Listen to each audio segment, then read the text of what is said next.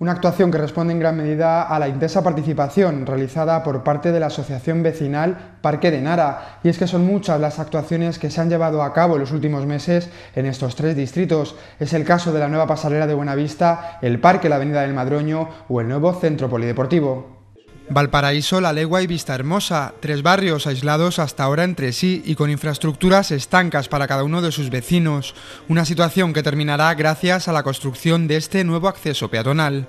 Significa una solución inteligente que va a permitir la comunicación entre Valparaíso y La Legua, por coche y peatonalmente, va a significar el final de una autovía, tengan en cuenta que hasta aquí llega una vía de alta capacidad, la ciudad tiene que saber cómo digerir una vía de alta capacidad y convertirla en vía urbana. La glorieta ya existente en la zona de Valparaíso se unirá a otra que ya se está construyendo en La Legua y a la mayor de las tres que comenzará a construirse en los próximos meses. Un nuevo acceso peatonal que cambiará la forma de comunicación entre los tres distritos. Este proyecto, que se está desarrollando ya, ha resuelto varios problemas que había en la zona.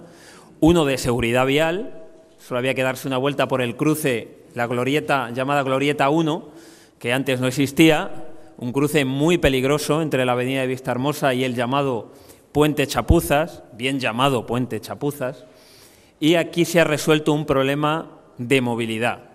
El primer trimestre de 2012 es el límite marcado por el consistorio para la culminación de esta nueva actuación urbanística que también supondrá la canalización del conocido como arroyo Salchicha.